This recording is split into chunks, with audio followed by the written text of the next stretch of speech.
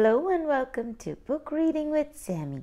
Today we are going to read a Curious George book.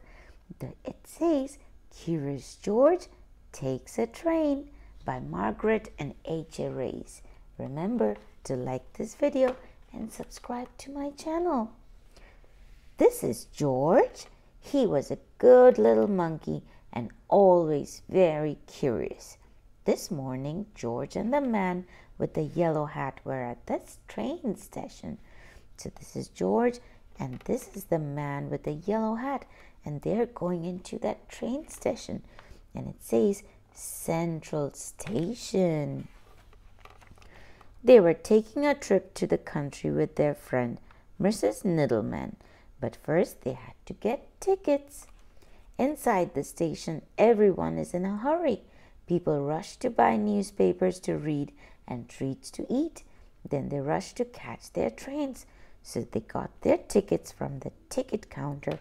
There were so many people at the train station getting newspapers from the newsstands, getting some treats from the snack shop, and some people were running towards the train.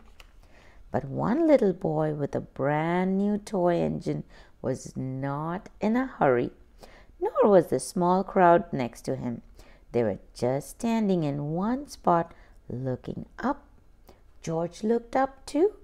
What were they looking at? A train master was moving numbers and letters on a big sign. Soon the train master was called away, but his job did not look finished. George was curious. Could he help? So, what was the train master doing? He was putting the timetable for the trains, but he couldn't finish. He had to go somewhere. George climbed up in a flash. Then, just like the train master, he picked a letter off the sign and put it in a different place.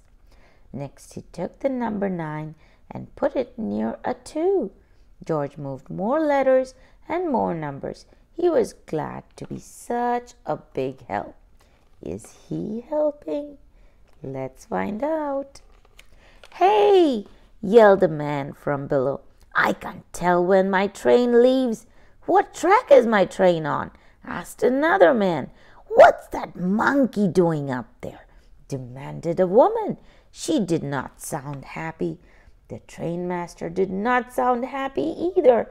Come down from there right now, he hollered at George. Oh no, George messed up the whole train timetable. Poor George. It's too easy for a monkey to get into trouble, but lucky for George, it's also easy for a monkey to get out of trouble. Right then, the conductor shouted, All aboard! A crowd of people rushed toward the train.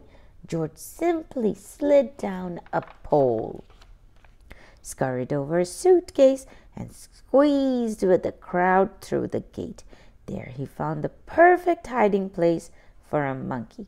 Where is George? Where is he hiding? The little boy with the toy engine also ran through the gate. Look, Daddy, he said, a train. His father looked up. Come back, son, he yelled.